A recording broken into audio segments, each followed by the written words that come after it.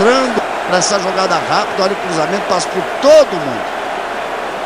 Passou pelo Thiago Silva. Você vai ver, passou ali pelo Luiz Gustavo. O Davi Luiz chegou. E o Marcelo